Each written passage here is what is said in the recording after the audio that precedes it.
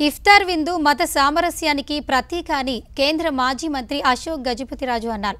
కుల మతాలకు అతీతంగా అంతా కలిసి విందారగించడం ప్రజల సామరస్యతను తెలుపుతుందన్నారు.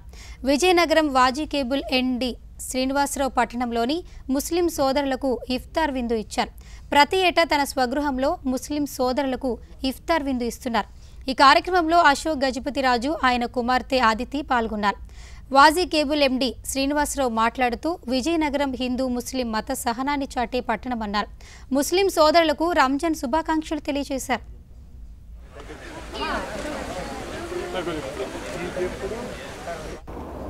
సో మనకి ఇప్పుడు కలిసికట్టుగా భోజనం చేయడం ఇది కూడా ఒక మానవ మానత్వం పెంచడానికి మంచిది. డివిజన్స్ లాగా ఈ కులం ఇది ఈ మతం ఇది అని కాకుండా అందరు కలిసి భోజనాలు చేయడం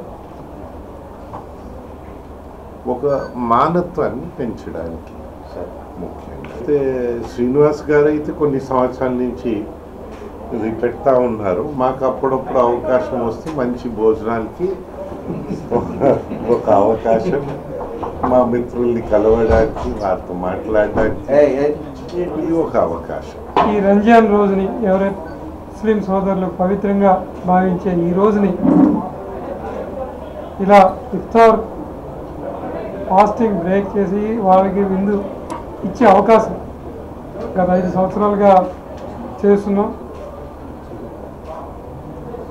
ఇట్లాగే విజయనగరం హిందూ ముస్లిం ఎంత ఐక్యతగా ఉంటారనే దానికి మనం మన కోట దగ్గర చూస్తేనే అర్థమవుతుంది.